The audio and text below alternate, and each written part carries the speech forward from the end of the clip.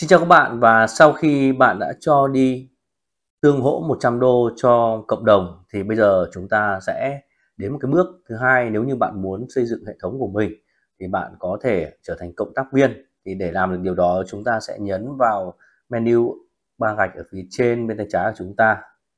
Sau đó nhấn vào cộng tác viên. Sau đó chúng ta nhấn vào đăng ký cộng tác viên. Và ở đây là một cái điều khoản đăng ký. À, bạn có thể đọc 9 trang bao gồm có 9 trang chúng ta sẽ đọc hết từng trang một để chúng ta xem mọi thông tin. Đấy, các bạn cứ nhấn như vậy. Và chúng ta sẽ đọc đủ 9 trang nhé, để cho chúng ta hiểu về cái cách thức hoạt động ở đây. Và sau đó chúng ta nhấn vào tôi đồng ý và nhấn xác nhận là xong. Rồi, như vậy là màn hình đã, chúc mừng bạn đã trở thành cộng tác viên của Work Apply. Rất là đẹp, đúng không các bạn? Và như vậy là chúng ta đã chính thức trở thành cộng tác viên của Google Apply rồi. Và video này mình xin được kết thúc ở đây. Xin chào và hẹn gặp lại các bạn trong video tiếp theo. Bye bye.